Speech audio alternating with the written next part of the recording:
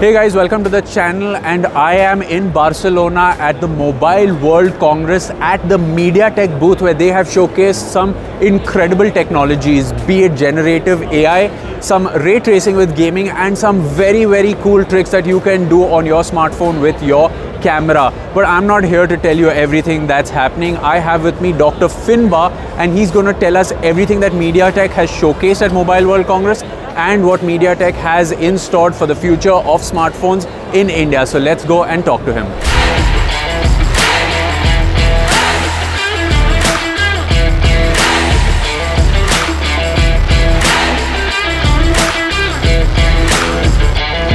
Okay, Dr. Finbarr, thank you so much for joining us today. And my first question is about that really, really cool auto demo that's going on at MWC out here. So, can you talk a little bit about Dimensity Auto and what it means for MediaTek? Yeah, Dimensity Auto, like the automotive market, is a is a brand new focus for us. Well, um, renewed focus, I would say. We've been in the automotive industry for a couple of years, but obviously with the announcement of the new partnership with NVIDIA last year, it's really kind of re-energized our focus on the uh, smart cockpit, smart cabin solutions. Um, so there's a lot of activity right now in the automotive market everywhere, of course, electrification, you know, the capabilities for connectivity, for multimedia, for cameras, for displays, for AI, is just accelerating like crazy. So we're pretty excited about it. Um, we're going to be talking more about this in the coming weeks, but you're going to see, I think, a lot of high-end solutions coming from the MediaTek Dimensity um, Auto platform, particularly on the cockpit side.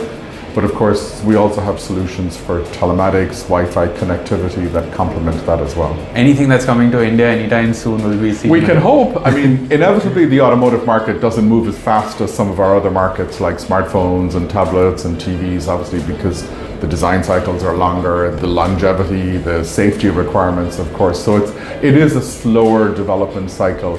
Um, and we're just getting started with some of these, these new solutions that we'll be launching soon. But you know, I think the India market is also quite vibrant right now in the automotive market. There's a lot of development happening in India. So I'm sure in time we'll be able to talk about some exciting stuff in India. Absolutely, yes. Now, a lot of people in India are fairly shocked when I tell them that a lot of the IoT devices in their houses are actually powered by MediaTek. You know, mm-hmm. it could be a streaming stick, a smart speaker, a projector. Yep. Can you can you shed some light on IoT devices, uh, anything on the horizon right now, or just anything you'd like to share in the IoT space? IoT is another big focus area of growth for us going forward. And I think again, like automotive, there's a lot of things that are changing in, in the market, right? So you know, I think when you look at sort of the core capabilities of MediaTek, you know, advanced multimedia, SoCs, leading process technology, low power consumption, latest ARM cores. But then also, I think the AI effect is also becoming quite popular. So when you have that capability that we have developed coming from our mobile devices, we can of course deploy that into, into other platforms. And I think that's a big advantage because we've got like the camera capability, the video capability, and then couple that with the on-chip AI acceleration. I think it's, it's, it's, it's very important platform. We're seeing opportunity, I would say, in sort of two different areas of IoT. Um, consumer applications, you mentioned a few, yeah. streaming media, speakers, smart doorbells, cameras, security, surveillance, exercise equipment. I sort of think of all of those as sort of consumer type applications. Um, but also longer term, I think there's opportunity in industrial applications, in enterprise applications, you know, things like, think about like advanced video conferencing facilities for office, you know, smart displays, those kind of capabilities. Yeah. Um, it's a very rich, very diverse um, marketplace. And I think what's also exciting is it opens up the opportunity for new customers all over the world because it, it requires a different go-to-market and a different support model where a lot of it is done by the customers themselves. We deliver a standard platform. Yeah. So I think we'll see, I'm hoping we'll see Southeast Asia, India, Europe, LATAM, new customers developing with these platforms going forward for use cases that might be specific to that market. True. Now, now just shifting gears to mobile phones, and we are seeing so many OEMs that are going to launch devices powered by the Dimensity 8000 and 7000 series. Can you shed some light on what is so, uh, you know, important, what is so magical about these two chipsets that we're going to see such a high volume of launches coming with these two? Yeah, there's there's an exciting calendar ahead for yes. the, the next couple of weeks. I've seen, um, particularly in, in, in the India market. I think it's two things. One, I mean, I think there's kind of a an outside market effect, right, where you know, we're seeing 5G adoption going accelerating like crazy and markets like India, Southeast Asia, other markets are, are, are beginning to adopt like crazy. Consumers are obviously looking at the devices that they buy, and even if they don't need 5G today, they're kind of future proofing. But also, I think the average price that the consumer is willing to pay for devices is continuously increasing because consumers are looking at holding those devices for longer. So I think consumers are making decisions that say, I'm going to invest now in more camera capability, more future proof, more computing, more gaming capability, whatever their interest is in. So it's sort of pushing the requirements a little bit to the higher end, right? True. I think on the 8000 and the 7000, our targets are probably a little bit different for each one. The um, 8000 series is obviously the premium part, just below flagship, right? And there, starting with the Dimensity 8000 a few years ago, MediaTek really delivered truly optimized new chipsets for that segment, right? So really optimizing the features, the cost, the power, the performance, rather than trying to trickle down flagships that were two years old or, or three years old. And we had a lot of success with that, and I think our customers have continued to build on that with the 8200 and now the Dimensity 8300 device. Of course, the Dimensity 8300 also adds some generative AI capabilities this year, which is kind of unique in, in that segment.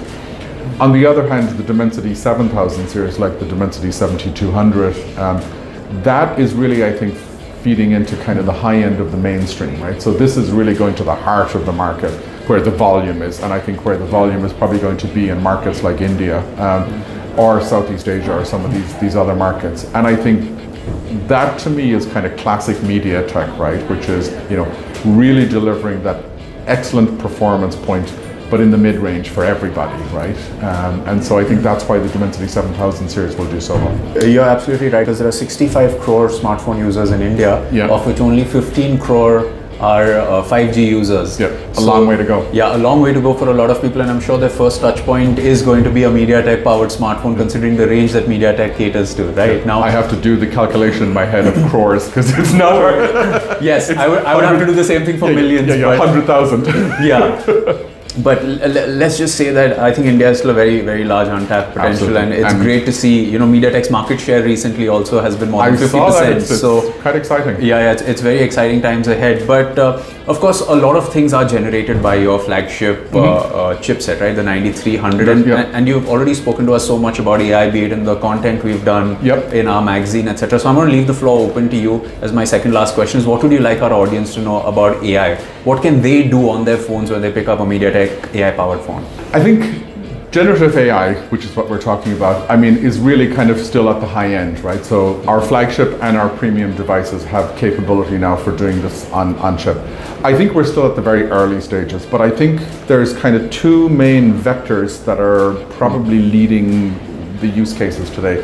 One I call more the productivity. So this is, I think, if we and our customers do the job right, is going to make your smartphone, your device, a more useful personal assistant for you, right? So it's going to understand your data, it's going to understand what's on your device, it's going to understand all of the applications you use, it's going to understand how they can interface and help each other. And I think make that experience more intuitive. You know, you can call it the smart assistant, you can call it sort of the productivity, the summarization, all of those kind of Yeah. capabilities built built in. Bridging the language barrier. Exactly, exactly. Um, you know, interesting side story here, but one of the videos I just recorded for our use um, in English, we've just had AI turn it into me speaking Hindi. Now, I don't think it's something we want to share yet because it's probably, but it's amazing already, like what the technology. So it's like. I, I had an Indian friend of mine in the States check it out because I said, Yeah. Is this any good? Right? And he goes, The Hindi is very formal. Yeah. That's what he said. Um, but it's in my voice, in my accent, with my mouth moving as if I was speaking Hindi, and I don't speak a word of Hindi, so this is all Yeah. generated. But it shows The potential, potential of what, of what this can do. And you know, I think in the article I talked about the dream would be sort of that universal translation, right, where anybody in the world can talk to anybody else in the world and build a bridge or build a connection. Like if you think about the the human element that that could bring, I think it's it's amazing. Yeah. The, the second vector, I think, where AI is being developed, and we've got some applications here at MWC to sort of demonstrate this, is more in the consumer social fun kind of entertainment yeah. side of things. And again, I think that can be a very powerful driver for some of these applications as well, whether it's image generation, you know, avatars, personalization, stuff that people can share with their friends on their social networks, personalized content. Again, generating some of that I think can be very, very powerful. You know, it's like it's not that long ago, you know, when people started launching emojis and people were like, this is never going to take off. And now look how important conversations happen in emojis. Look how look how important they are to you know. Mm. So are we moving into sort of the next one of those kind of major breakthroughs or use cases? I think there's a lot of potential there for that, right? Yeah. So I think we're going to see a lot of this stuff deploy in the high-end devices in 2024. But it's important to recognize we're just at the start here, right? And I think, you know, our mission has always been to enhance and enrich everyone's lives, right? So, how do we as an industry bring these capabilities, maybe scaled, into more mainstream devices, into the mass market of devices? And I think that will happen over the next three, five years. Yeah.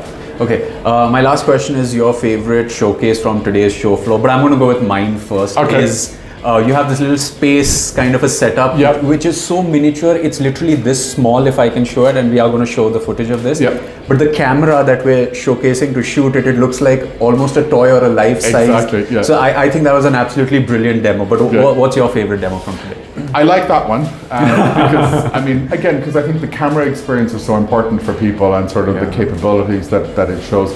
I also like our video diffusion yes. uh, demo where you know, I think everyone is familiar with kind of the standard stable diffusion where you type something and a picture is generated. Yeah. But this is actually happening in real time where you can kind of keep changing the text and the image keeps changing in real time as you type it. And we're running all of that on device using the AI capability of our Dimensity 9300 without any cloud connection. Yeah. So again, that kind of feeds into that fun video yeah. use cases that, that I was talking about. So I think that's probably my favorite so far. Yeah, actually, that's a very good one. And just to explain it to our audience a little more, is when if you were to do something like this previously, and correct me if I'm wrong, is you needed access to the internet to a cloud where whatever you inputted the text, it actually happened on a server sitting probably in Singapore or some other country. But now it's happening locally on your device, which from a business perspective means there's cost saving also for you guys. And for the consumer, it means that you're not wasting a lot of internet bandwidth to get the data to go up and down. And it's so, instantaneous. and it's absolutely happening real time. We're going to, you're probably seeing the demo of this while I'm talking about it as well. But thank you so much for joining us today, Dr. Finbarr. Is there anything else you would like to talk about uh, at MWC or MediaTek, which I may not have covered in these questions? No, I think we covered most of the, the key the key stuff. Like we're obviously day one, so a lot can change, but it's an exciting it's an exciting year, I think, for us for the industry. You know, I think the Gen AI capability is. Mm infusing some new life into the smartphone market, right? And you know, people are trying to figure out where this is going to go. But for me, it has that feeling of magical technology. So yeah. the industry is going to figure this out, and I think we're going to see where we are in a year or two. But it'll be an exciting future. Absolutely, like Arthur C. Clarke said, like any sufficiently advanced technology is indistinguishable from magic, magic. and what we've experienced today at MediaTek's booth has been nothing short of absolutely super magical. That's great. So, yeah. That's a good. That's a good one.